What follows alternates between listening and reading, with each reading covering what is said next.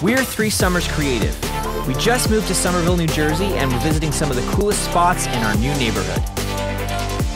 Hey guys, Amy here at Ultimate Xscape Rooms in downtown Somerville. This place is so awesome.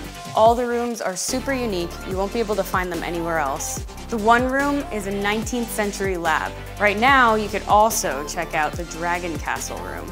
And there are two other rooms opening soon. One is Sherlock Holmes Mystery and the other is Wizarding School. They opened in June 2019, but unfortunately had to close because of the pandemic. But now they are open for you guys to come and check out all these rooms, try to figure them all out.